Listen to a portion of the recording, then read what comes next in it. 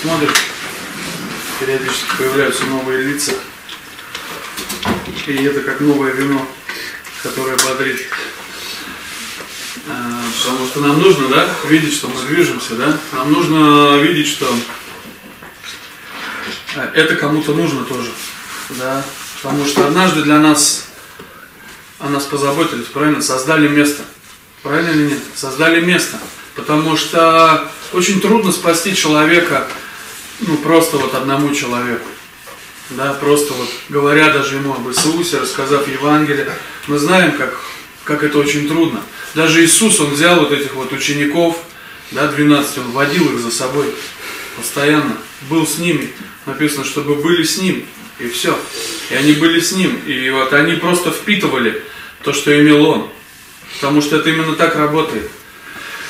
И как бы вот я радуюсь от того, что у нас что-то получается, да, и ну, также не хочу останавливаться, поэтому я хочу сейчас, прежде чем проповедовать, послужить а, некоторым людям здесь, они не знают даже.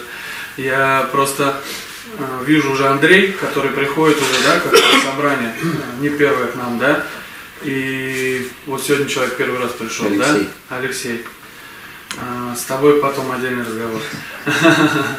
Вот, я позову вас сюда, да, мы выйдем. Я хочу просто за вас помолиться, чтобы мы вот с ребятами за вас помолились, со старшими, потому что я понимаю, как это важно, знаете, я, я просто когда пришел из РЭТу тоже, и как бы вот, ну, для меня было сложно это решение. И это был как вот кусок жизни из моей жизни был вырван, как бы, да, я не знал, куда я иду, и когда я пришел как бы вот в церковь, э, к пастору, и первый день он меня тоже сразу позвал, и сразу за меня помолился. И как бы сказал, что очень рад, что э, он говорит, мы долго молились, э, мы молимся за то, чтобы братья приходили, потому что сами знаете, как тут в церквях э, много женского населения. Но и понимаете, вот я был с ним на протяжении 10 лет, как бы вот так все получилось, и как бы вот под покровом церкви, так сказать. Поэтому вот я хочу просто за вас помолиться, выйти и все, Лёх, пойдем. Тут же твои дети тоже участвуют. Всем пойдешь? Пойдем. Просто, просто помолимся, чтобы просто у вас вот, ну, будущее складывалось, после, чтобы вы не потеряли то, что у вас было заложено, посеяно, чтобы вы приумножили, чтобы Бог вас просто благословил и все. Аминь. Спасибо, Отец.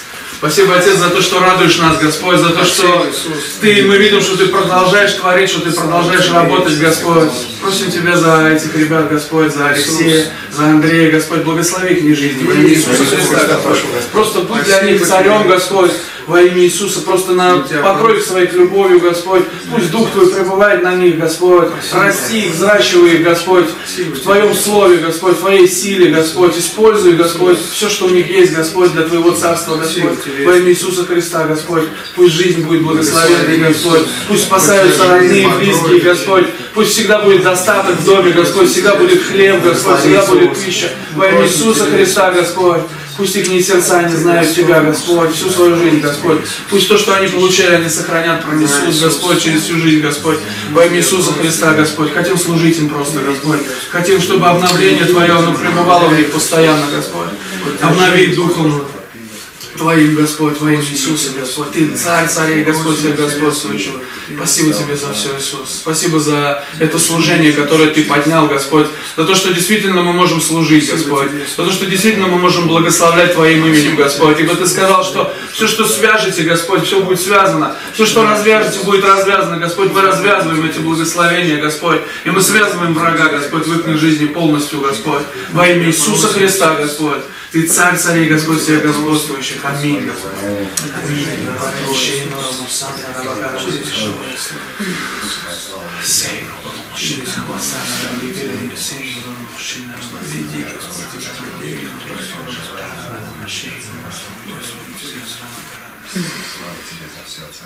Слава тебе, Иисус. Аминь. Все.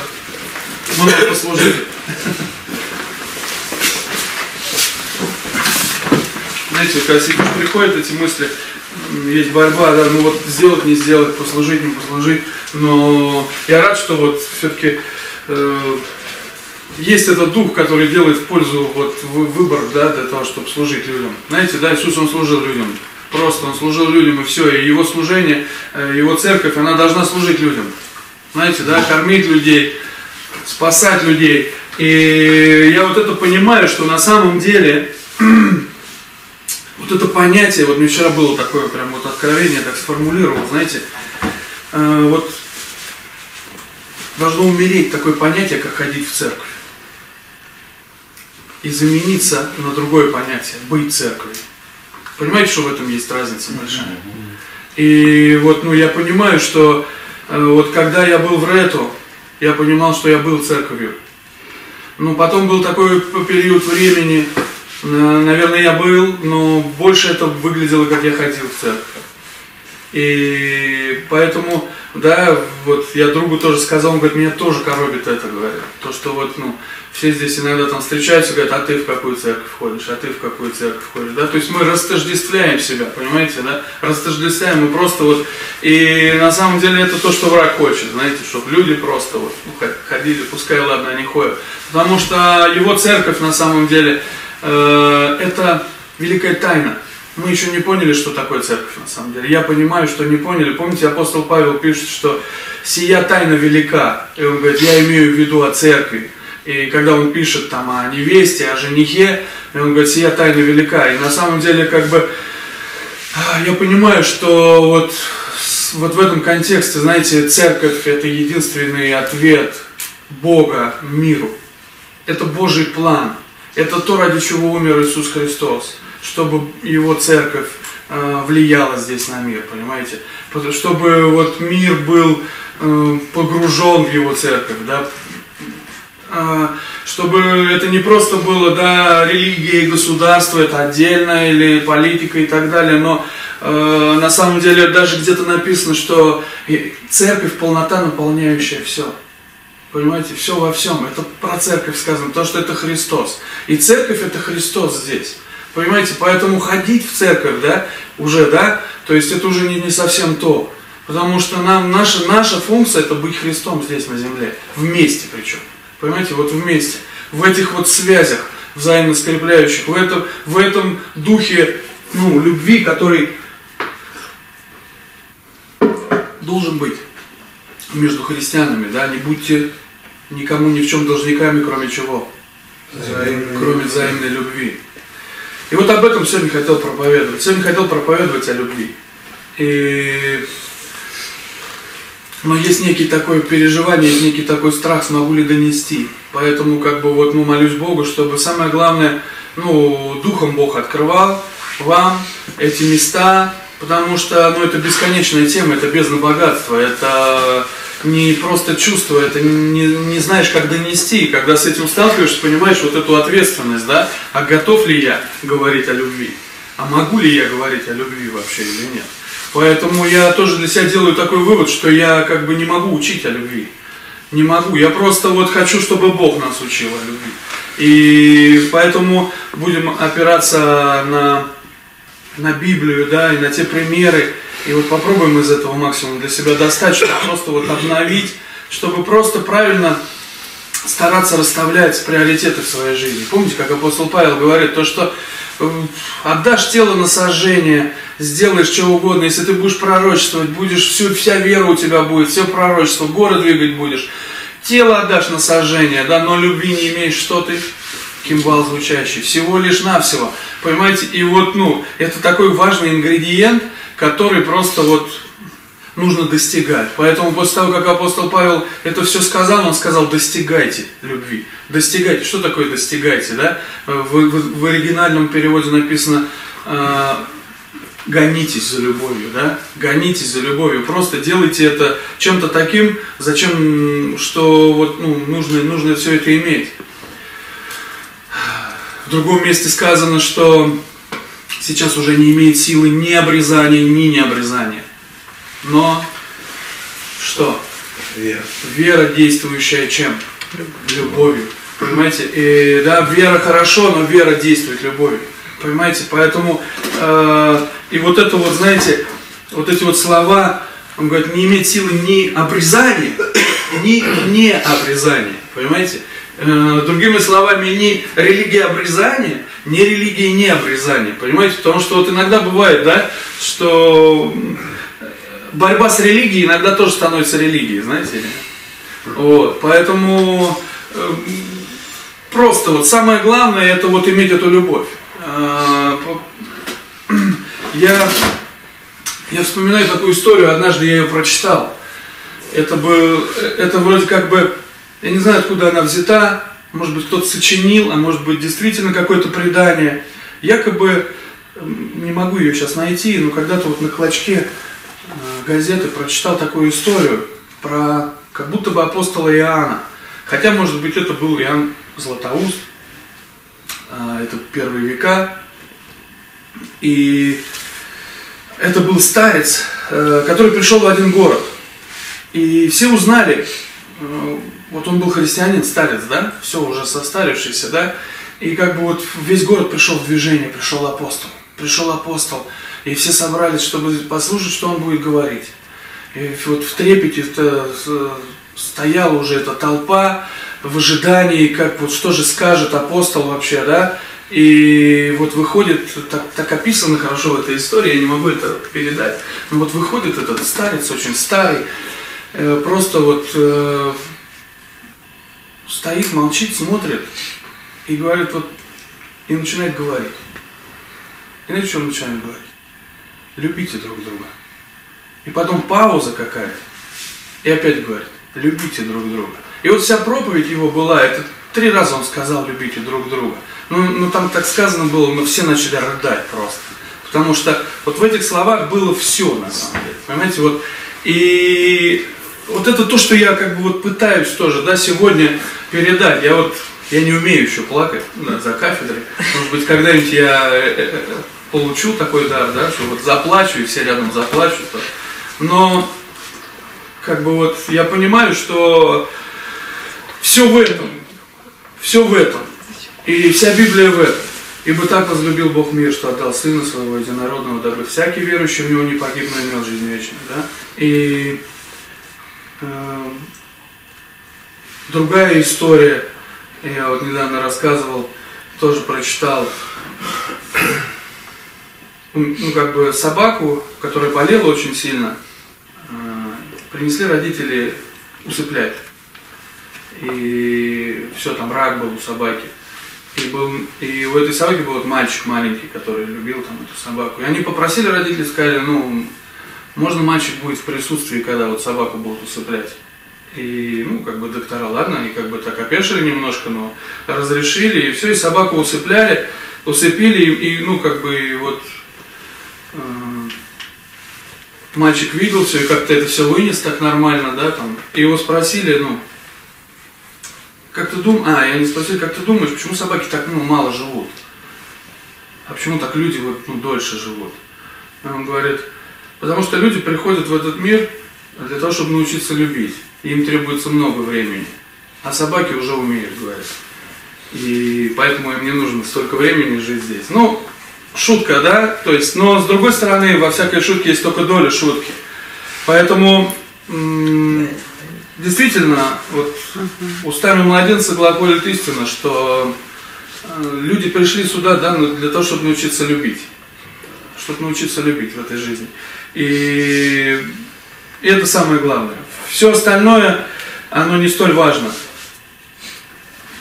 Давайте мы откроем Лука, 10 глава, да, Володь? 10? Да.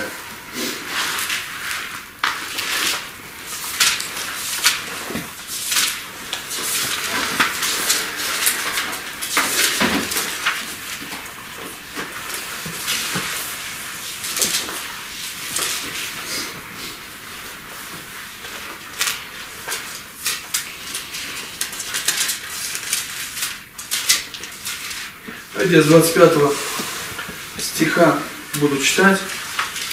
Здесь вот о главных заповедях и потом притча о милосердном самарянине. И вот один из законников встал и, искушая его, сказал, «Учитель, что мне делать, чтобы наследовать жизнь вечную?» Он сказал ему, «В законе что написано, как читаешь?» Он сказал в ответ, возлюби Господа Бога твоего всем сердцем твоим, и всей душой твоей, и всей крепостью твоей, и всем разумением твоим, и ближнего твоего, как самого себя. Иисус сказал ему, правильно ты отвечал, так поступай, будешь жить. Но он, желая оправдать себя, сказал Иисусу, а кто мой ближний? На это Иисус, э, э, на это Иисус сказал, некоторый человек шел из Иерусалима в Иерихон и попался разбойникам которые сняли с него одежду, изранили его и ушли, оставив его едва живым. По случаю один священник шел тою дорогу и, увидев его, прошел мимо. Также и Леви, быв на том месте, подошел, посмотрел и прошел мимо. Самарянин же некто, проезжая, нашел на него и, увидев его, сжалился. И, подойдя, перевязал ему раны, возливая масло и вино, и, посадив его на осла своего, привез его в гостиницу и позаботился о нем. А на другой день, отъезжая, вынул два динария, дал содержателю гостиницы и сказал ему, позаботься о нем. И если сдержишь, что более, я, когда возвращусь, отдам тебе. Кто из этих троих, думаешь, ты был ближний попавшемуся разбойнику? разбойником? Он сказал, оказавший ему милость. Тогда Иисус сказал ему, иди и ты поступай так же. Вот э, Иисус дает да, определение такое, дает эту притчу, в которой на самом деле очень много разных символов заложено – все мы не успеем сегодня посмотреть, и не все относятся прям вот к тому, что я хочу сегодня сказать. Но есть очень такие для меня важные моменты. И потому что вот этот вот вопрос, а кто мой ближний? Да? А кто мой ближний? Кто наш ближний? Кого ты должен любить? А, да, ближнего своего, как самого себя. Во что я верю, как бы. Вот недавно у меня пришли такие мысли, и как будто вот, ну, открывается, не знаю я, что надо проверять, это временем, практикой, но что якобы вот вообще все человечество, да, это единый организм, который каким-то образом связан между собой, каким-то образом. Э, то, что я имею в виду, что на нас влияет то, что происходит с другим человеком рядом с нами. Влияет на нас, понимаете? Мы можем как будто этого не чувствовать. И пока мы как бы вот не в духе, не духовные, мы не ощущаем этого. Мы не ощущаем вот этой зависимости, э, той нужды, которая есть рядом с нами, именно на нас. Нам кажется, что мы ну, вольны поступать, как мы хотим, и ну, хотим сделаем, хотим не сделаем. А вот как я сейчас думаю, что похоже на самом деле не так все. Знаете, мы как клетки вот в этом э, теле, в организме, да, например, в организме есть клетки, да, и есть клетки, которые, может быть, больные. И знаете, как там происходит, да? Жив, здоровые клетки начинают лечить больные клетки. Просто вот те, которые находятся рядом в этот момент. И вот таким образом мы устроены, как, как бы, как люди. И я понимаю, что похоже, что мы, потому что Библия нас называет телом, да, церковью, похоже, что мы тоже есть некий закон, который мы, может быть, еще не узнали, ученые еще не раскопали. Но я вот так вот думаю, так вот верю, что, похоже, есть связь. Похоже, есть связь. И если мы э, не чувствуем это, не делаем ту работу, которую должны делать, покрывая нужду ближнего, мы наносим вред себе в первую очередь. Себе. Понимаете? То есть как бы, э, да, то есть не исцелив эту клетку, да, мы потом каким-то образом, может быть, тоже можем, да, заболеть и так далее. Я не знаю, как это происходит, но вот уже есть же доказанность, да, такая, что все болезни от нервов. Есть же такое, правильно? Как бы вот э, врачи говорят. И я вот вчера там разговаривал с одним человеком, мы тоже мы с ним как бы разговаривали о том, ну просто то, что надо быть позитивным, что надо любить жизнь, не забывать жить, там, да, поменьше критиковать, поменьше переживать, ну, потому что этот мир, он всех нас заставляет переживать, особенно за деньги, за состояние, за имущество, да, за то, что у тебя есть, за то, что у тебя нет, там, и так далее, да, за то, что есть у других, да, похоть плоти, похоть очей, гордость житейская. Аминь? Все, что есть в мире, все, чем люди так гордятся в этой жизни. Есть не от Отца написано, но от мира, да? И вот пребывание в этом, оно на самом деле, видимо, как-то даже физически в итоге начинает влиять на людей. Потому что вот, ну, и вот мне этот человек говорит, у меня вот, да, у меня вот мама раком заболела, рак крови, говорит. И я говорю, наверное, много в негативе жду. О, говорит, вообще постоянно что-то вот она там критикует, не, не, гоняет, там, я не знаю, ну, ну, прям вот он, я не помню, какие слова он сказал, ну, вот, понимаете, да, описание, то есть, иногда люди вот живет в негативе, да, и вот тебе на, рак крови. То есть, э, я думаю, что, то есть, без любви, на самом деле, да, без вот правильного применения себя, не зная, да, кто мы на самом деле, что мы за механизм, что мы за конструкция на самом деле, что вот это вот наше э, духовное состояние, душевное, оно напрямую связано вот как-то с нашей химией и физикой, да? Вы знаете, что мы химия тоже, да? Что там э, есть вот эти химические процессы, которые у нас происходят, выброс там гормонов и, и так далее, да? Что это все э, как бы доказано. Вот, это то, то, о чем я хотел бы вот вам оставить немножко вот эту мысль, что на, на тот вопрос, а кто мой ближний, как это работает вообще, кому я должен а, оказывать любовь, так как я а, ну, должен, да, потому что, а, то есть выбираем ли мы это или не выбираем, и я понимаю, что на самом деле мы это не особо выбираем, кому мы должны кого мы должны любить, кто наш ближний. Понимаете, вот ближний он и ближний. То есть ближний он может э, сидеть рядом, а, а может и в другом городе жить, ну, есть какая-то связь у тебя с ним. Ты, может быть, он приходит тебе на ум, да? Может быть, вот ты, у тебя приходят мысли, да, помочь этому человеку, или как-то вот, что ты можешь этому человеку помочь, да, что у тебя есть что-то, что, чем, бы, чем бы ты мог как бы вот поделиться, да? Потому что вот даже в Библии написано, что Павел вот учит этому, что он говорит, сегодня ваш избыток для покрытия ихнего недостатка. Завтра ихний избыток для покрытия вашего недостатка. И, ну, именно вот так вот. Именно вот так вот э, создал, видимо, нас Бог, как единый организм. Понимаете? И ненормально как бы для человека жить только для себя. Понимаете? Вот, да, ну, например, часто, да, можем сказать, вот у богатых людей у них очень большой есть излишек. Да? И иногда, да, и они иногда им кажется, что это все принадлежит им. Но вот по Библии, да, э, это все дано, что есть сильные, да, которые могут больше собрать, больше заработать там и так далее. Но они как раз вот и созданы для того, чтобы вот это все потом покрыть более слабых. И ну просто вот представьте, если вдруг человечество до этого дойдет и начнет вот так жить. Это нельзя практиковать по плоти, такую вещь, да, что, ну, давайте сейчас, потому что много раз пытались, давайте все раздадим, да, всех накормим там и так далее. Нет, я так понимаю, что это именно работает, э, именно тут должен быть дух, дух должен указать, кто твой ближний, мы, и это как бы, ну, я думаю, что мы должны в этом возрастать и развиться в этом, потому что Другая обочина, это вот действительно, знаете, как бы то, что вот говорит апостол Павел, если я даже на сожжение тела отдам, все раздам, горы буду двигать там, да, и, но любви не имею, то это тоже не имеет как бы никакого значения, я кимвал звучащий, понимаете? Поэтому э, мы пришли сюда для того, чтобы научиться любить. И это процесс, понимаете, это процесс. И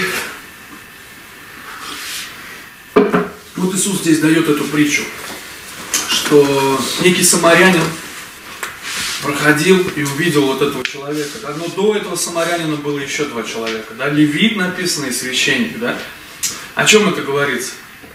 Это говорится о том, что служители, да, служение не всегда эм, то, что да, мы служим Богу, да, и занимаем какое-то место в церкви, я не знаю, в своем сознании, да, э, может быть, проповедуем, прославляем Бога, да, что на самом деле мы имеем любовь. То есть вот может быть, это все опять же об этом. То есть возможно такая ситуация, что мы можем больше любить служение, больше любить э, место, позицию там, и так далее, чем на самом деле любовь. Чем вот действительно, потому что они оказались тоже на этом месте. Они оказались. И вот некий самарянин, просто проходя мимо, начал оказывать просто милость вот этому человеку. Почему Иисус берет вот самарянина? Почему, как вы думаете? Кто такие самаряне были?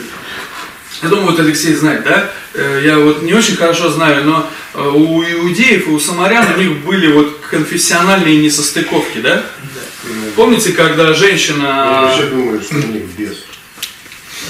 Самарянов. Без. Да, да, то есть, ну, там очень много да, написано, иудеи с самарянами не сообщались. И вот эта женщина у колодца, помните, э, которая встретила Иисуса и говорит, как ты, иудей, просишь у меня пить? А, но с другой стороны, потом она говорит, вот отец наш Иаков, он говорил нам, что надо поклоняться да, здесь, он нам колодцы выкопал, да, мы вот по этим откровениям живем. А вы говорите, что в Иерусалиме Иисус говорит, наступает время, что поклоняющиеся Богу будут поклоняться в Духе и в истине. И не в Иерусалиме, не на этой горе, говорит. Но он все равно сказал, но спасение от иудеев. Да? То есть на самом деле есть, что такое иудеи э, для меня, как, как символ. Э, это ну, вот, горящие верующие, искренне любящие как бы Бога, пытающиеся его познавать, углубляться, приближаться, служить. И, вот, и, и спасение оно от таких. Но есть вот и, и самаряне, да? И вот Иисус использует в этой притче самарянина. То есть, другими словами, Он говорит вот о вот этой межконфессиональной э, разнице, да, вот об этих постоянных спорах, которые бывают. Но через то, что он использует этого человека, он показывает, что вот есть эта проблема, но решить ее можно только любовью. Только любовь может решить. И любовь выше вот этих вот всех межконфессиональных споров и доктрин и так далее. И вот это вот, ну, некий путь такой, да, что вот эти вот барьеры для меня, они однажды должны пасть между вот всеми конфессиями. Католики, православные, пятидесятники, баптисты там, и так далее. То, что это все э, вот именно любовью может пасть. И и, или даже, да, несмотря на то, что это все есть, вся эта разница, да, мы не должны забывать самого главного. Вот, вот этой вот реакции, которую, которую имел э, этот самарянин, да. Через это я хочу сказать, что любовь это переживание за ближнего, которое сильнее утверждения иногда нашего разума. Потому что мы иногда идем от разума, да, а стоит ему помогать, он не понимает ничего, но он сам виноват и с ним это произошло, потому что, потому что, потому что, потому что. И у нас идет вот этот вот разум, да? Это вот то, что не смогли, через что не смогли переступить вот этот вот левит и фарисей, да? То, что э, не, ну, не помогли они да? Я не знаю, каким, как они там оправдывались, да, относительно этого всего. Один просто прошел мимо, другой посмотрел, задумался, но тоже прошел мимо. То есть вот они не смогли. Там еще очень важный есть символ такой, что этот человек шел, кто помнит откуда, куда? А куда? Ерихон. Это тоже такой важный библейский символ, что этот э, человек шел из, из Иерусалима в Ерихон. Иерусалим – это город Божий, да, где присутствие Божие. А Ерихон, знаете, какой город, да? Город греха, город твердынь таких, да, город заклятый, да, город, на котором сказать, что не будешь больше отстроен, там, да, э, и так далее. То есть это вот... И таким образом, то, что мы видим, что почему случилось э, с человеком то, что с ним случилось? Именно потому, что он шел из Иерусалима в Ерихон. То есть, да, он шел от Бога э, к греху, да, его стремление было к греху, и поэтому с ним это все случилось, поэтому разбойники напали. Но что самое интересное, что там написано, что вот эти люди, они шли той же дорогой.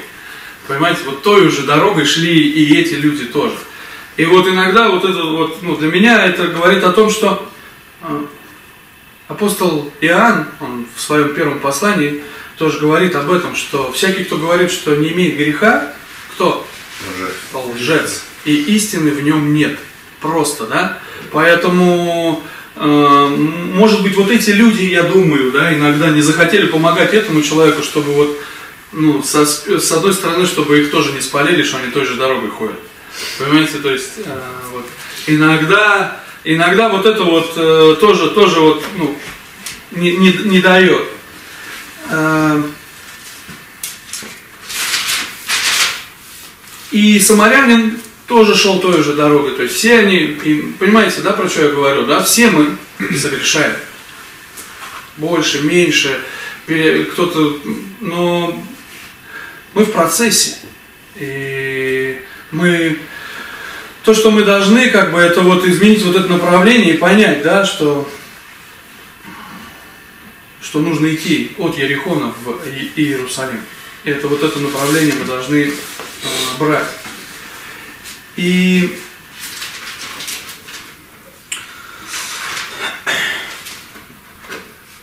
почему вот э, эти люди, левит и священник, они не останавливались, да? Потому что действительно э, вот помощь, настоящая помощь человеку, да, она требует времени, она требует чего-то от тебя такого, что тебе будет стоить. То есть, может быть, вот этот левит, священник, они, они куда-то шли, у них были какие-то дела, да? Ну, другими словами, можно сказать, на служение, да?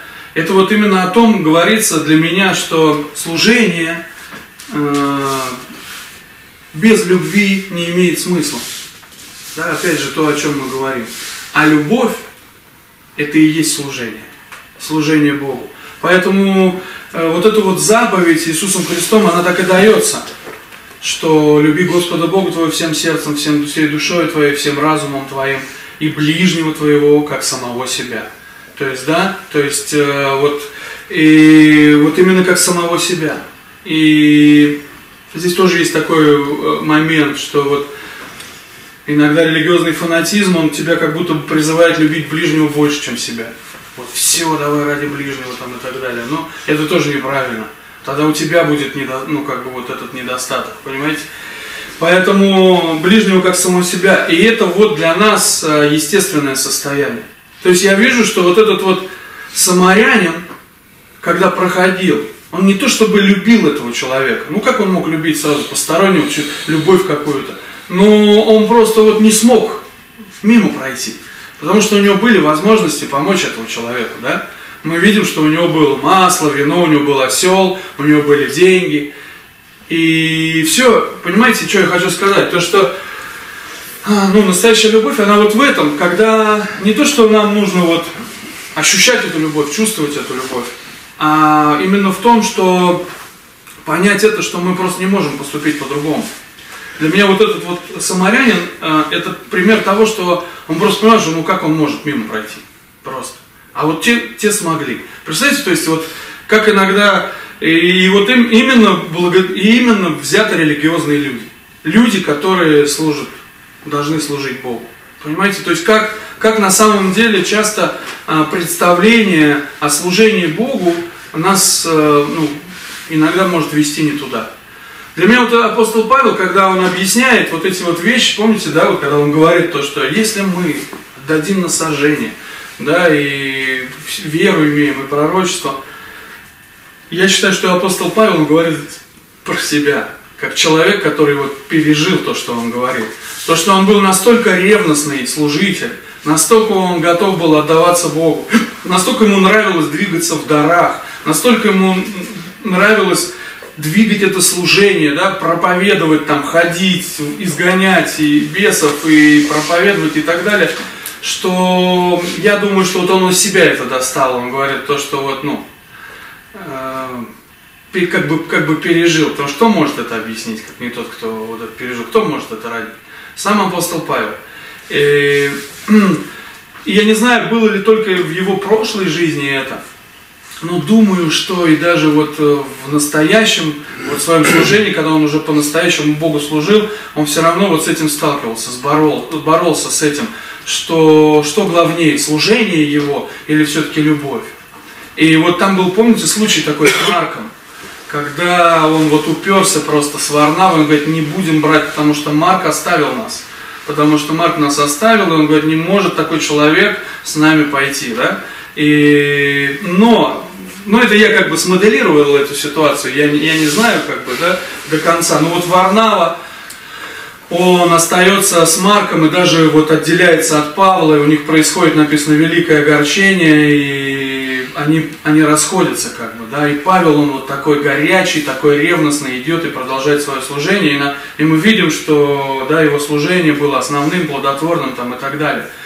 Но в конце своего служения он пишет такое письмо, что кому-то, я не помню, говорит, Тимофею. «При- Тимофею, да, когда он говорит, приведи ко мне Марка, он мне нужен для служения. А, Вот, ну, я бы хотел сказать, ну, как бы, вот мне хочется, или я так представляю, что это как такое, знаете, покаяние Павла о том, что у него было время, когда ему не хватило вот этой вот любви, вот этого вот понимания к немощи более слабого человека, который, может быть, не смог, испугался, да, э, и он его отстранил там от себя, от служения, но вот тут он как бы, да, как будто бы вот, ну, я так вижу, что он не признается, что я переборщил тогда, но он хочет в конце своей жизни побыть с Марком, а, явить, дать ему эту любовь, а, как бы вот, может быть, поговорить с ним, да, и, ну, понимаете, да, сделать такой шаг, шаг покаяния, э, да, раскаяния, да, от того, что любовь это главное на самом деле. И вот в его посланиях мы это все тоже видим. И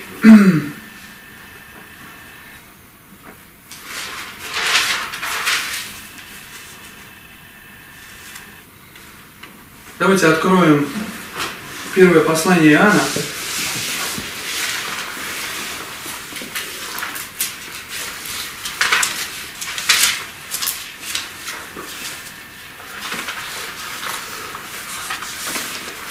Четвертая глава.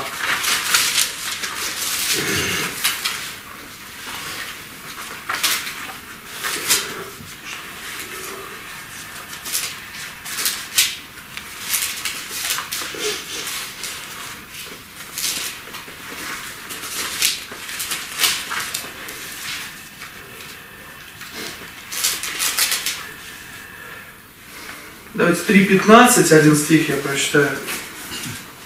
Всякий ненавидящий брата своего есть человек-убийца. И вы знаете, что никакой человек-убийца не имеет жизни вечной, в нем пребывающий. Любовь познали мы в том, что Он положил за нас душу свою, и мы должны полагать души свои за братьев.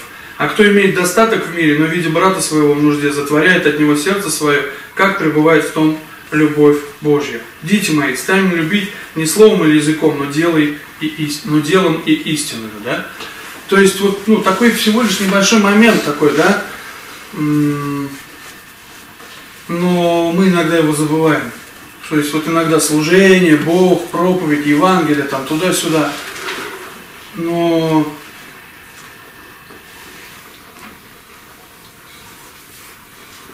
здесь говорится вот об этой практике, да, что если мы видим у кого-то недостаток в мире и открываем и закрываем от него сердце свое. Что это значит закрываем от него сердце свое? Не хотим об этом думать, как бы, да, ну, ну пусть сам, пусть сам как-то вот э, справляется. Ну, у него потому-то, потому-то это произошло. Ну, будет знать собака, да, и так далее, да, как со мной, как, как мне грубить там, или еще что-то, да. То есть, э, ну, на самом деле, и вот дальше здесь все это, давайте тоже четвертая глава, седьмого стиха. Возлюбленные, будем любить друг друга, потому что любовь от Бога, и всякий любящий рожден от Бога и знает Бога. Кто не любит, тот не познал Бога, потому что Бог есть любовь. Любовь Божия к нам открылась в том, что Бог послал в мир единородного Сына Своего, чтобы мы получили жизнь через Него. В том любовь, что не мы возлюбили Бога, но Он возлюбил нас и послал Сына Своего в умилостивление за грехи наши. А, Возлюбленные, если так возлюбил нас Бог, то и мы должны любить друг друга. Бога никто никогда не видел. Если мы любим друг друга, то Бог в нас пребывает, и любовь Его совершенно есть в нас. Что мы пребываем в Нем, и Он в нас, узнаем из того, что Он дал нам от Духа Своего.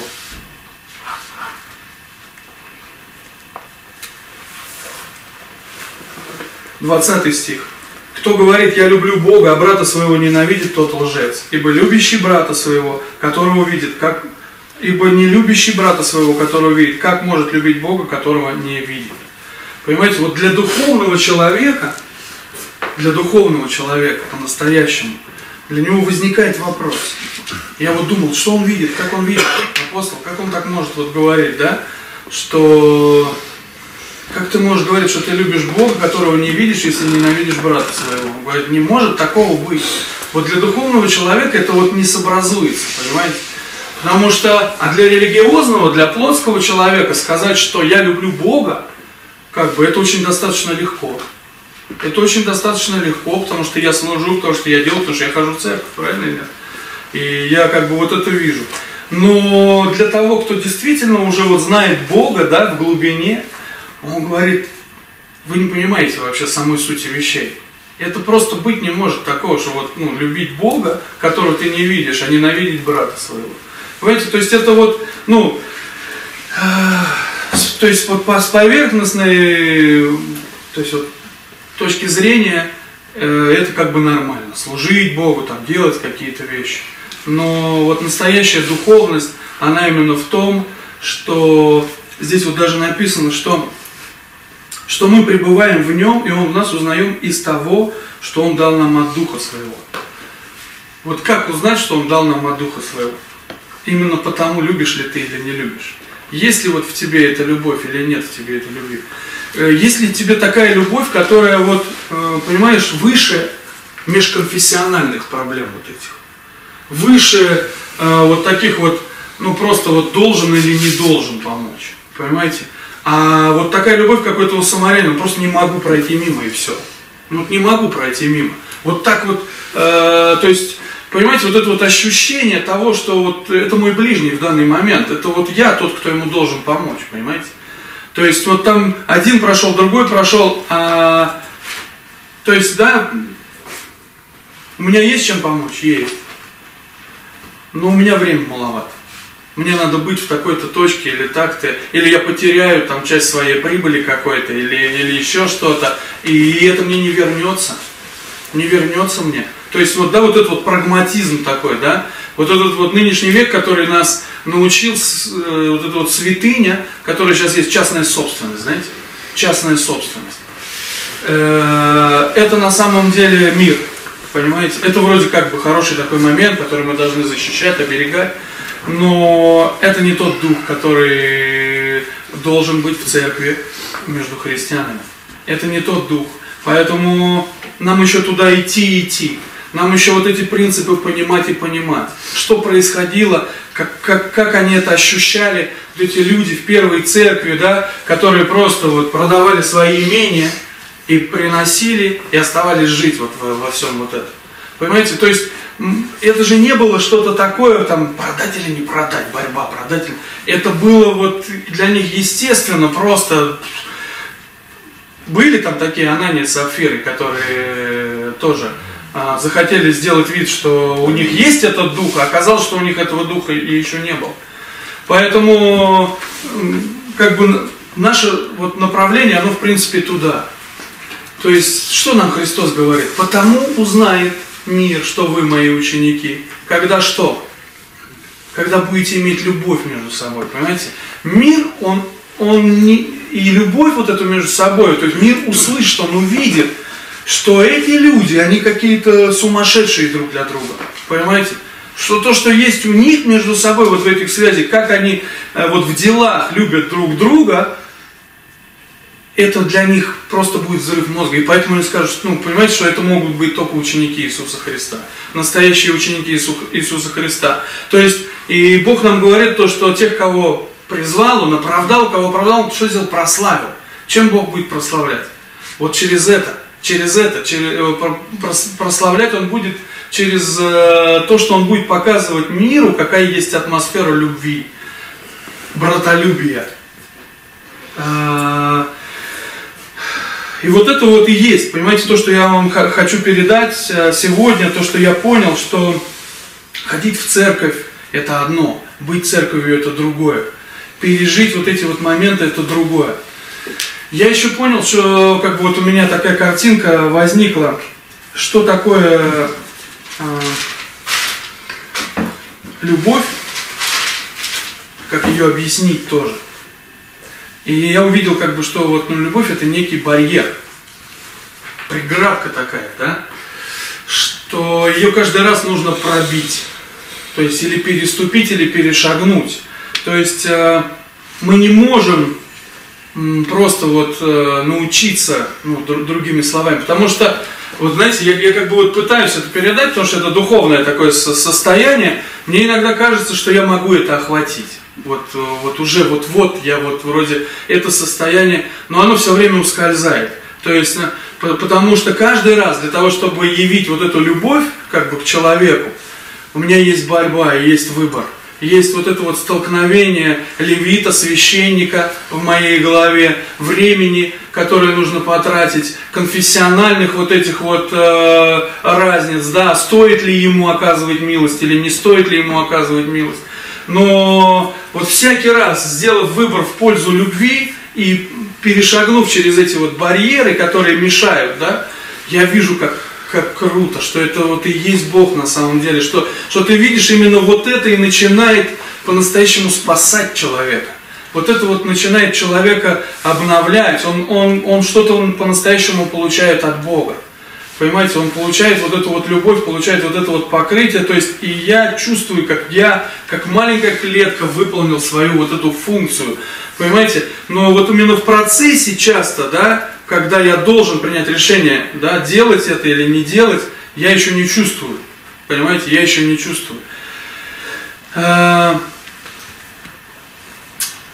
и вот знаете, когда Павел тоже вот это вот 1 Коринфянам 13 глава про любовь, мы можем читать, но, наверное, идет для этого много времени. Я надеюсь, что многие из вас это знают. Читайте это, где описывается вот это вот, как он говорит, да, любовь долготерпит, любовь милосердствует, не мыслит зла, не ищет своего, не завидует, не радуется неправде, но сорадуется истине. Я, наверное, перепутал места, но неважно. А вот у нас да, висит вот это вот, да, мы можем читать, кстати. Никогда не перестает, всего надеяться. всего надеяться и так далее, да, и вот он вот это вот перечисляет. Представляете, как вот Павел, он, он ее переживал ведь. Он ее переживал, потому что вот он из себя, из духа рождает такое определение любви.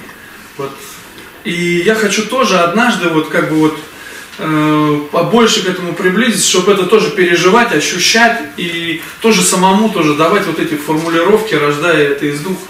Но первое, что Павел говорит, первое, когда он говорит про любовь, он говорит, любовь долготерпит. Вот знаете, и для меня это вот как вот вырывается из него, что это вот, что то, что часто не хватает нам для того, чтобы явить настоящую любовь к человеку. Потому что вот мы видим, как действует этот самарянин. Он действует комплексно, он действует с пониманием, он действует до конца. Он не просто там перевязал раны, помыл и сказал, ну, полежи здесь, лучше станет, пойдешь там, он придешь туда на тебя. Да? Он делает вот эту комплексную помощь этому человеку. Он перевязал раны, а полил вино и елей, да? Написано, посадил его на своего отца, а сам пошел рядом. Да? О чем это говорит? О том, что ну, настоящая любовь, может быть, это будет дискомфортно тебе оказывать. Для тебя же самого, да? Но вот самарянин это сделал, потому что, опять же, почему, ну не было других тоже вариантов, для него было это нормально. Он не искал как бы, он искал как бы, как сделать дело полностью для этого человека, да? Как вот этого человека спасти на самом деле. Привез его в гостиницу, заплатил за него.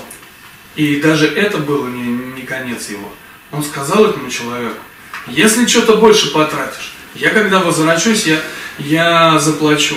То есть понимаете, да, как человек действует на самом деле. Я просто заметил, что мы иногда хотим спасать людей, хотим давать людям тоже вот, ну, надежду, проповедовать Христа, заботиться там о них. Но иногда вот нам не хватает вот этого вот долготерпения к ним. Просто. Пока появятся вот эти результаты мы закипаем и говорим, да я тебе то, я тебе это, я тебе это, а ты, свинья неблагодарная, вали отсюда. Понимаете, нет? Вот самарянин так не делает. Так не делает, долготерпит, пока, пока не, не получится. Помните, Иисус рассказывает однажды такую притчу, там виноградарь пришел, э, смоковница не давала несколько лет плода. Но садовник побежал, говорит, еще оставь, еще на год еще окопаю, еще попробую. Если вот на следующий год не принесет плода, тогда срубишь.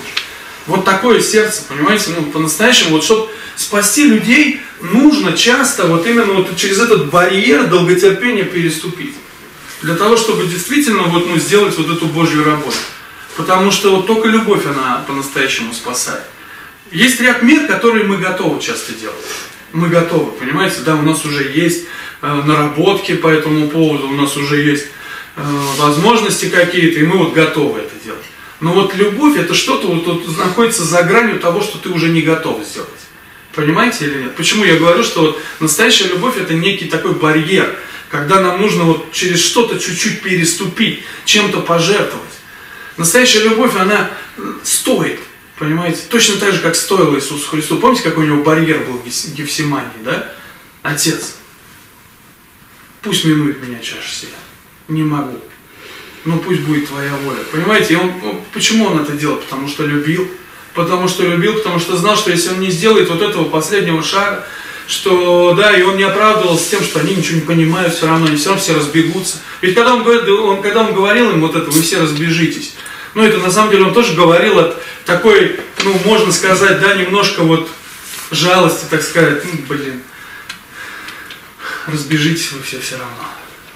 Э, но потом, когда дух его посещал, он говорил, ну, я молился за тебя, Петр, вы соберетесь, утверди братьев, утверди, у вас все получится. Когда я сделаю то, что я должен сделать, у вас все получится.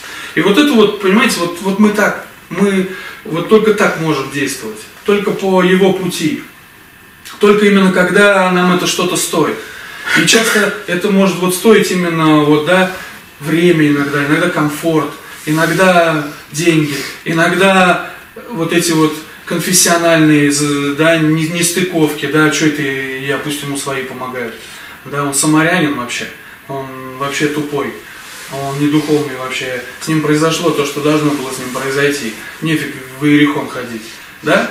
Правильно? Но вот самарянин так э, не, не смотрит, да?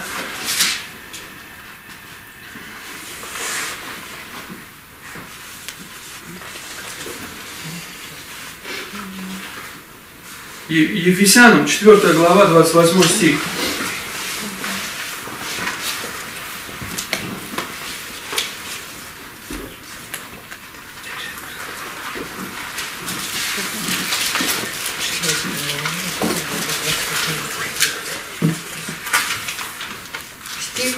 Двадцать восьмой, четвертая глава. Кто крал, впредь не кради, а лучше трудись, делай свое, своими руками полезное. Для чего? Чтобы было из чего уделять нуждающемуся. Вы представляете, как, как мыслит апостол Павел? Он не говорит, э, кто крал, впредь не кради, а работай своими руками и ешь свой хлеб. Да? Хорошая логика, правильно или нет? Но он говорит больше. Для того, чтобы ты вот это вот работай, зарабатывай для одного. Для того, чтобы было из чего уделять нуждающимся. Для того, чтобы было из чего уделять нуждающимся. И я это вот, ну, понимаю. То есть, ну, ну то есть вот настоящее Царство Божье на земле, это когда ближний начнет жить ради ближнего. Понимаете, с пониманием этим, что мы вот для этого, что мы несчастны от того, когда мы не можем ничем благословлять. Понимаете, когда у нас нет. Потому что и поэтому нам нужно иметь что-то, чтобы благословлять иметь что-то, чтобы служить. Поэтому мы там вот, да, и делаем это место. Потому что вот там же, да, в этой притче про самарянина была гостиница. Правильно или нет? То есть, да, для того, чтобы по-настоящему спасать а, людей, нужен комплекс мер. Да, просто вот ходить и говорить Евангелие, мало кого спасешь по-настоящему в это время. Тебя назовут сектантом, тебя к тебе прилепятся какие-нибудь тоже духоманы одержимые, которые скажут, брат, хорошо проповедуешь, я с тобой буду проповедовать, давай туда-сюда. И ты на самом деле в шоке будешь от того, кто все прилепился и, и хочет с тобой помогать, понимаете? Поэтому э, по-настоящему, настоящее служение Богу такое, да, оно разумное, оно э, вот, ну, действительно служение, его нужно сделать, место нужно сделать, сердце нужно готовить, работать нужно много. Понимаете? Если ты сильный, значит должен работать много. Помните, вот, потому что он действительно вот этот вот принцип, то, что э, не, не все могут одинаково, но часто мы вот по плоти пытаемся уравняться, да? Ну, если тебе дано больше возможность приносить пользы, зарабатывать, там, грубо говоря, денег, двигать какие-то проекты. Но это тебе просто дано. И ты благодарен, и ты в этом полон. А кому-то меньше дано. И это не для того, чтобы ты над ним возвышался, а для того, чтобы вот твой излишек покрыл их недостаток. Помните, как написано, что э, давайте 2 Коринфянам, тоже хорошее место такое, 2 Коринфянам, 8 глава, для того, чтобы объяснить вот эти духовные принципы.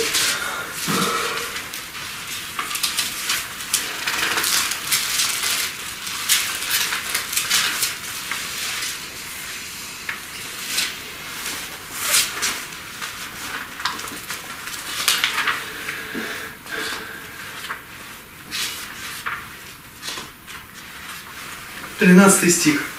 Не требуется, чтобы другим было облегчение, а вам тяжесть, но чтобы была равномерность. Понимаете?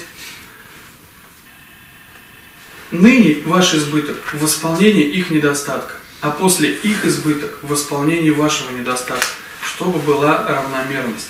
Как написано, кто собрал много, не имел лишнего, кто мало, не имел недостатка. Понимаете, из-за чего теперь, да? Вот кто-то мало собрал, не имел недостатка, а кто-то, это не то, чтобы там мало поел и был сыт, а потому что люди делились как бы. И понимаете, да, про какое место это говорит? Когда народ Израиля в пустыне собирал манну. И это вот про, про это место говорят, что они собирали малую манну, и кто-то собирал мало, кто-то собирал больше. Но вот написано, что кто мало собрал, не имел недостатка, кто много собрал, не имел вот этого излишка. Все была равномерность в покрывании а, вот этих а, нужд, да, потребностей и так далее. Понимаете? А, вот сегодняшний век, мир, он нам диктует, что это как будто невозможно. Но вот церковь и должна явить, здесь по-настоящему церковь явить, что это возможно.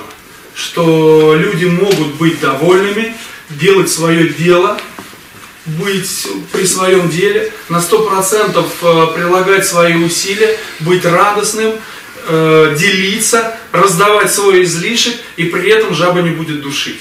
Понимаете? Потому что это очень важный момент. Потому что когда мы попробуем этот принцип понять по плоти, жаба начинает душить сразу. Еще не дал, но жаба уже душит. Понимаете? Но вот мы видим, что вот в этой первой церкви эти принципы заработали. Написано, что все у них было общее, и да, я имею в виду, ну как это, да, ну не будет же мои трусы э, вот Серега носить, правильно или нет? А я его. Правильно? Есть, есть буквальные вещи, да, и, и там свои дома там, да, а есть вот, ну, как бы принципы и сути вещей, понимаете? То есть мы, мы, я, я верю, что нам даны вот в этой церкви вот эта вот любовь, по которой узнают, что все мои ученики, именно вот в этом. Что у них было что-то такое, они явили вот эту новую систему счастья на самом деле, счастливой жизни на земле, когда э, люди спокойно делятся, спокойно отдают, и у них не кончается. Понимаете? И потому что это же не было так, вот они продавали свои имения, да, и приходили и такие, ну все, я продал, давайте теперь меня здесь любите, я ничего делать теперь не буду, я же продал, все, что. Понимаете, вот это вот по плоти тоже вот такое представление. И то, что они приходили, грубо говоря, продали, и теперь мы ничего делать не будем. Мы же продали, мы же несли свой, мы же вот, как это сказать, да, соучредители теперь вот этого всего дела, да. Я в это не верю, потому что христиане это те, которые, ну, работают и много работают. Значит, они просто, они просто вот а, приносили вот эти свои излишки, да, для того, чтобы вот э, служить этим Богу, для того, чтобы быть во всем этом, потому что это было влечение их собственного сердца.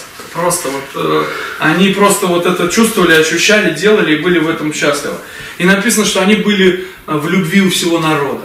То есть народ, написано, прославлял их. Никто из чужих не мог к ним при, присоединиться, но народ их прославлял. То есть, да, не, не говорил, что они сектанты, не поняли ничего, потому что было что-то там между ними. Понимаете? Потому что было что-то, вот это вот э, новая система э, жизни на земле. Поэтому для меня вот церковь это ответ Бога человечеству. Когда, что церковь, она вот как единый организм э, нужна всей земле для того, чтобы вот правильно эксплуатировать землю. Не для того, чтобы вот, да, понимаете, потому что сейчас что, 3% принадлежат, или там 99% или сколько там, 95% ресурсов принадлежат там 2% граждан, да, грубо говоря. То есть, да, есть вот э, несостыковка. И и, и постоянно э, вот эта вот реакция вызывает, что надо революцию, да? Надо революцию, надо этих забрать и этим раздать. Помните, как, как, как, как, в, револю, как в революции было сделано? Ну, вот это тоже как бы такой плотский путь, грубо говоря, к решению вот этих духовных проблем. Единственный выход, единственный э, ответ э, земле, миру, это, это церковь. Это вот именно вот это взаимодействие людей, которые научились взаимодействовать, которые смогли взаимодействовать, которые расставлены самим Богом, самим Духом в тех местах, в которых они должны быть, которые... Ведь это и есть счастье, да? Вот у коммунистов был хороший лозунг, лозунг тоже. От каждого по, по потребностям, каждому по труду, да, то есть как бы вот они понимали, это же они оттуда взяли эти принципы, да, для того, чтобы людям просто дать дело, любимое дело, смысл как бы, да, для чего это все делать, и все, и нужды покрывали. Поэтому для меня вот это вот важные такие моменты. И потому что, вот я говорю, проблема, нам кажется, что ну, я могу делать, а могу не делать. Да, могу давать, а могу не давать. Но э, ты вредишь себе, когда это не будешь делать. Если ты христианин, то ты начинаешь уже вредить себе. То есть, да, э, Потому что там что, помните, происходило с манной, которую люди вот собрали от излишка на утро оставили? Помните, что с этим происходило? Там черви завелись. Черви завелись, понимаете? Э, где, где огонь не угасает, и червь неумолимо точит тоже, знаете? То есть, ну, ад на самом деле, он тоже как бы на земле, понимаете? Поэтому люди не могут э, достигнуть счастья, не могут достигнуть полноты, вот именно из-за того, что они не понимают, что вот, э, вот этот их не излишек, он на самом деле не для них, понимаете? Он не для того, чтобы он лежал в кубышке на черный день. Он для того, чтобы вот э, э, восполнять нужду ближнего твоего, который рядом. Понимаете или нет? Это, это будущее. Я в это верю, но это нельзя по плоти практиковать. Да? Я видел, как сейчас, да, во многих, ну, есть, есть церкви, когда там выходит проповедник и начинает орать, что я апостол, неси к моим ногам. Да, тысячу долларов, грубо говоря, да, то есть как бы, потому что у апостолов это так было. Я просто понимаю, что когда люди, когда мы достигнем этой атмосферы, сами, да, как церковь внутри себя, вот этой вот, да? Что у нас? Нормально? Нормально. А кто? Саня? Да. Самоление пришел. Я верю в то, что вот э, это именно дух, он будет побуждать это делать, и это будет все органично. Потому что вот, ну, в Библии написано, не требуется, не требуется, чтобы чтобы другим было облегчение, а вам тяжесть. Но чтобы была равномерность. Вот что требуется, понимаете? Вот что требуется. Поэтому вот этот самарянин, он имел, он жил до этого, и он дал, и он смог вот а, находиться в том месте. А я вот вижу, что левицы священникам, они были как пустышки такие. У них даже нечем было помочь, на самом деле, этому человеку. Понимаете, вот еще какой момент. То, что они вроде как бы были служителя, чувствовали себя служителями, провозглашали, э, жили религиозной жизнью, отдать человеку по-настоящему у них было нечего. Просто. Не было ни осла, ни масла, ни бензина, ни хлеба, ничего, ни денег, грубо говоря, да? Потому что они были лентяи, которые делали только вид благочестия. Понимаете? Ну, это все есть. Поэтому ну, всегда существует такая как бы обочина э, в христианской жизни, в религиозной жизни, чтобы вот, ну, служение, служение, это круто. На самом деле служение, оно вот в реальных вещах. Можешь ли ты реально послужить человеку тем, что у тебя есть? Можешь или нет? Нет пока. Значит, иди работай для того, чтобы было чем. Понимаете, я вот помню, когда я был в Рету, я очень сильно так горячо отдавал свою жизнь Богу. И хотел так, Бог, возьми мою жизнь, я хочу служить тебе и так далее. И все, ну как бы, а сам где-то внутри понимал, у меня нет ничего, что я, что я отдаю. Я еще не знаю даже, кто я. Я, не, я никогда толком не работал. Я, мне отдать-то нечего. Ну, и вот, ну, и, и в итоге, да, э, я ушел, да, Бог меня вытолкнул оттуда, как я это верю, да, я, я ушел, и пошел, и заработал, и что-то наработал, и стал что-то иметь. И вот, ну, последнее время я, до того, как начал, я начал ощущать вот, это, вот этот вот излишек. И я понял, что этот излишек, он меня мучает на самом деле. Что мне сделать? Дом начать строить или машину еще одну купить? И я понял, что это мучение на самом деле. Я там наигрался в какие-то вещи, но я хочу чего-то настоящего. Настоящего. И слава Богу, что Бог вот начал как бы призывать и как бы вот вкладывать вот это вот желание, что уже посвящать то, что у меня есть Богу на самом деле. Проверить это, а что будет из этого? А как оно будет? Потому что Бог сказал, что Он будет приумножать. Знаете, вот, потому что вот э, э, нам это, этот принцип дан не для того, чтобы вот, да, просто вот раздай и ходи голый, с голыми пятками по улице, и тогда ты будешь святой. Да, как вот есть такой прообраз святых, которые все, все, все, все раздали и начали проповедовать вот этот вот аскетизм. Я считаю, что это обочина. Это обочина, потому что для того, чтобы давать и реально помогать, надо иметь и надо работать. И в этом больше подвига настоящего, больше подвига. Понимаете, потому что ну, иногда вот духоманский подвиг, он в этом заключается, что вот все раздал и все. И пусть обо мне все заботятся. А, иметь, приумножать, распределять, отдавать, служить. Я верю в то, что не люди должны кормить, кормить церковь, да, своим приношением, церковь должна кормить людей. Всем. И хлебом, и деньгами, и работой, и всем. Потому что ну, это и есть настоящая церковь. Она настоящий вот организм, где есть вот это взаимодействие. Весь мир, э, вот если вы знаете, корпорации, они любят всякие тренинги э, большие, э, для того, чтобы было взаимодействие между людьми внутри компании. Они к этому стремятся, вот к этой гибкости, чтобы как можно быстрее достигать и добиваться. Смотрите, у нас есть вот эта привилегия, между нами уже есть дух. Дух, он может вот это вот делать такое взаимодействие, которое этому миру не снилось просто. Просто не снилось. И мы, если как бы включимся, возьмем эти Божьи дары, встанем на свои места, как церковь, мы начнем такого достигать, да, когда мы поймем, что наша задача просто много работать на самом деле много работать в том э, даре, который тебе дан, в том месте, на которое тебя Бог поставил. Это просто вот э, твоя необходимая функция, понимаете? Для того, чтобы... И неважно, много ты э, у тебя получается продуктивности или, или нет. И там уже не, нет такого, что тот, кто больше, возвышается над тем, кто меньше. Понимаете, про что говорю или нет? Вот я, вот я как вижу церковь, вот я как вижу любовь в действии. Давайте мы последний стих прочитаем тогда из Ефесянам, третья глава. Понимаете, вот перед нами на самом деле лежит очень интересный, такой, такой интересный вызов. Интересный вызов, интересный, интересная жизнь. Достигнуть любви, достигать любви вместе со всеми святыми, как написано. То есть ну, делать настоящее дело Божье здесь на земле. Не просто попытку, не просто играть в церковь, не просто вот, как я уже вначале сказал, ходить в церковь, а быть церковью. И Ефесянам, 3 глава,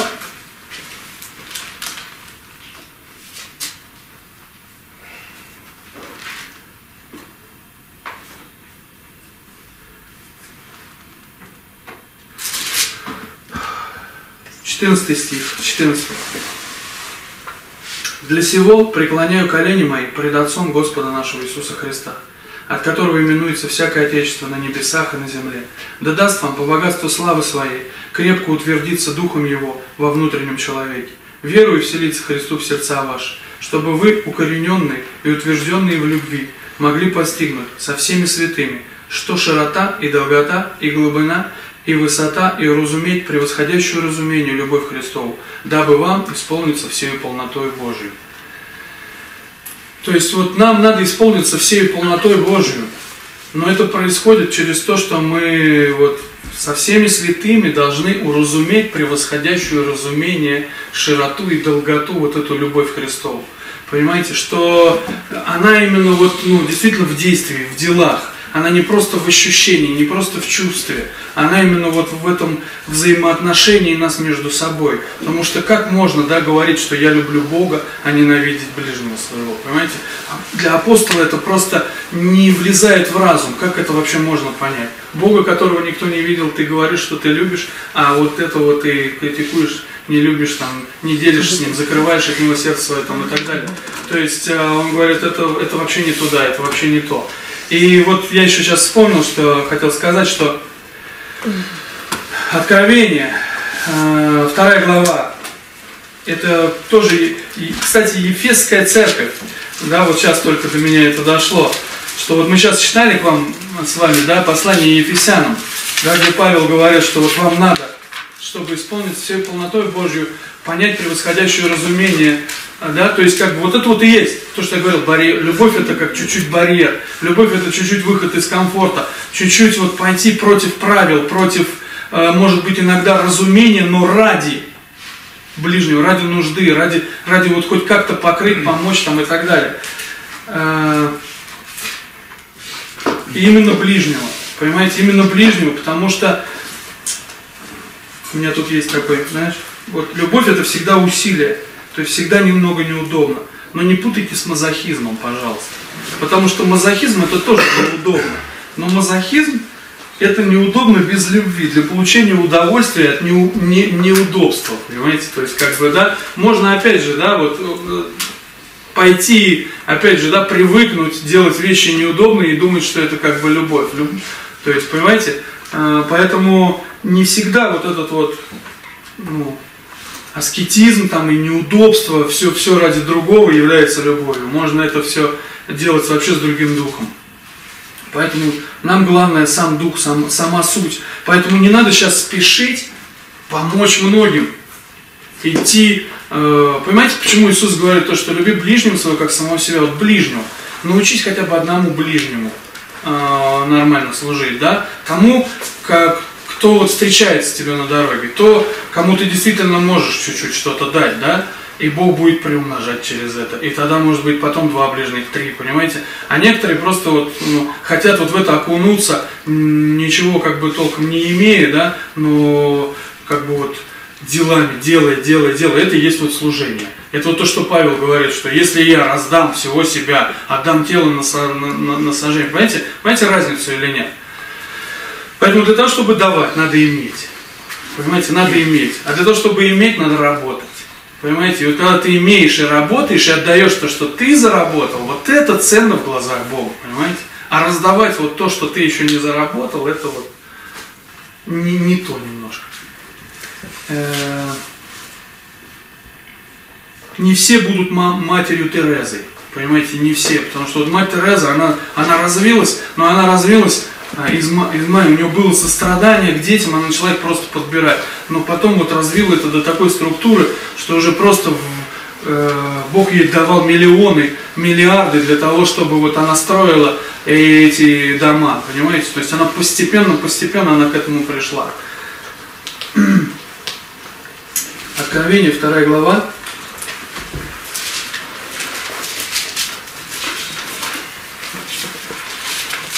Ангелу Ефесской церкви напиши. Так, так говорит держащий семь звезд десницы своей, ходящий посреди семи золотых светильников. Знаю дела твои, и труд твой, и терпение твое, и то, что ты не можешь носить развратных, и испытал тех, которые называют себя апостолами, они не таковы, и нашел, что они лжецы. Ты много переносил, и имеешь терпение, и для имени моего трудился и не изнемогал. Но имею против тебя то, что ты оставил первую любовь твою. Итак, вспомни, откуда ты не спал, и покайся твои прежние дела. Если не так, скоро приду к тебе и сдвину светильник твой с места его, если не покаешься. То есть вот я знаю, что это место Писания принято трактовать как бы вот лично для человека, что вот вспомни первую любовь, которую ты имел, вспомни вот те эмоции, которые ты имел, когда Бог с тобой встретился. Я вот вижу, что думаю, что так как любовь это все-таки дела, настоящие дела, из вот, ну, действительно в духе как бы Божьем, для людей, то вот я хочу это вот в таком контексте сказать, что здесь как бы церковь такая, которая много трудилась, много делала, вывела апостолов там, да, как бы вот большие дела сделали, ты для имени, но имею против тебя, что ты оставил первую любовь мою. Вот это вот первый, вот это вот первый основной принцип, вот это вот любовь. Вот вы потеряли вот это вот между собой, вот эту любовь друг к другу вот это вот то, с чего вы начинали, то, в чем вы начинали, то, что на самом деле не имеет значения вот эти большие служения, если нет между вами любви, если вы друг друга не любите, если вы понимаете, про что говорю, да? Поэтому для меня вот это направление здесь э, ему, да, как бы Иисус говорит, то, что не к нему любовь на самом деле, а вот это вот любовь, вот это ощущение братской любви. Потому что вот это вот, ну это действительно то, как мы можем влиять на мир любовью. Все. Потому узнать, что вы мои ученики, если будете иметь любовь между собой. И лестница Петра, есть такая штука, во втором послании Петра, где говорится там, э, от веры добродетель, добродетели рассудительность, рассудительности терпение, благочестие. И последние две ступеньки, кто помнит? Братолюбие, любовь. Братолюбие, любовь. То есть вот там вот идет вот эта как бы лестница, да, и потом вот из всего то, что он пьет, вот вы должны иметь братолюбие. Потому что вот из этого братолюбия вот э, придет любовь. То есть как бы вот для меня вот это вот братолюбие, это вот и есть та любовь, которая между нами, и любовь это уже то, что будет влиять на мир. Уже то, когда мир увидит это все. И, и, и все. Поэтому э, все в делах на самом деле, да. То, что не обрезание, не необрезание, да, не религия, не религия гонящая, да, изме, ну, другая религия, которая против религии, но вера, действующая любовь. Поэтому э, вот мы об этом должны молиться. Я помню, однажды я залез в подвал, это было в Самаре, в Рету. Там было здание такое, мы там что-то подвал копали, доски, я залез, там мне так плохо было внутри. Сел там, начал Богу молиться. Я помню, я одного попросил, Бог, я хочу твою любовь познать. Вот просто полностью. Я вот так думал, вот что мне вот, самое главное, что я хочу у Бога попросить. Его любовь знать. То есть иметь эту на самом деле любовь. Может быть, когда я просил, я, может быть, думал больше, что вот мне эту любовь чувствуют. Но я понимаю, что такое, ну, настоящая любовь, это когда ты эту любовь к другим как бы чувствуешь и можешь это, ну, в, в этом двигаться, это делать по-настоящему, действовать и видеть, как она, она движется. Потому что Бог есть любовь. Аминь. Давайте мы помолимся.